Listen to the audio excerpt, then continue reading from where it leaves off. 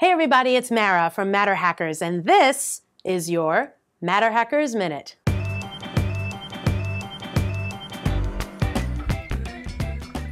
Thank you for watching Matter Hackers Minute videos. I hope that they inspire you to do awesome things with your 3D printer. If you like these videos, please subscribe to our channel below so you don't miss one, like this one floating above me. Danny Sanchez is Matter Hackers Hacker of the Month, and he wants to take you and your 3D printer around the world. Well, not really, because that would be difficult and expensive. But that's just the point. There are so many incredible landmarks and historical sites in every country on Earth. So if we can't physically go to all of them, how do we bring them to us? 3D printing, of course.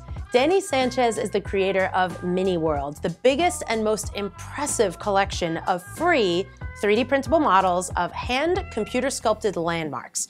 Now, I'm going to fangirl out on this for a minute because not only is it incredible that, that this exists and you can download and print stuff right now for free, but the origin story is just everything that I love about 3D printing and the open source nature of the 3D printing community. Danny is a trained industrial designer with product UX and UI being his main profession.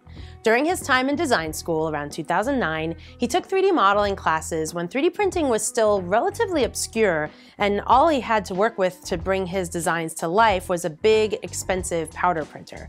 Around 2012, Danny designed an inhaler for children with asthma and a couple of toys for a contest, and he won himself a Leapfrog 3D printer.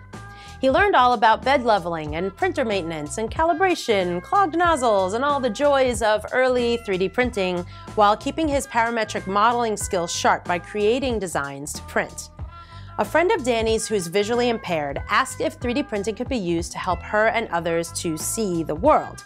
Now, we've covered this in previous Matter Hackers Minute videos, but it's really important to think about the fact that there is a community of students and adults who can't learn about the Taj Mahal or the Eiffel Tower by looking at books or postcards or even TV and movies. So if you click the link below, it's going to take you to a collection of over 80 models and landmarks that can be downloaded and printed by anyone for free.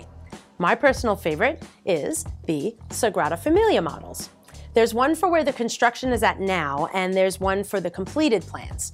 So I visited Barcelona for the first time this past summer, and I was personally captivated by the story and the spirit behind this incredible landmark.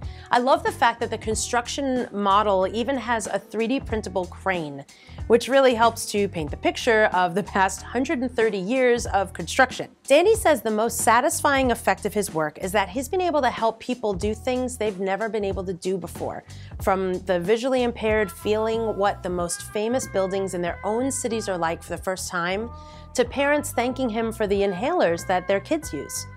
He also loves that the time he puts into modeling a landmark is valuable more than once. The file can be 3D printed as many times as needed in a variety of scales and materials. His work can reach an unlimited number of people around the world, and they even have the liberty of customizing his designs in any way they like. Did I mention all of this is free? Check out the Mini World collection of landmarks on the links below. Danny is Matter Hackers Hacker of the Month and will be receiving two free spools of Matter Hackers Pro Series PLA or ABS to create his models. Do you have what it takes to be Hacker of the Month? Tell me about your 3D printing project in the comments below, and you just might be featured in an upcoming video. I'm Mara, and this has been your Matter Hackers Minute. Go be awesome.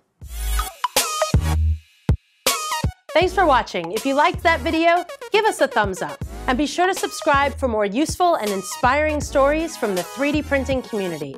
You can also go to matterhackers.com to find the desktop machines and materials you need to bring your story to life.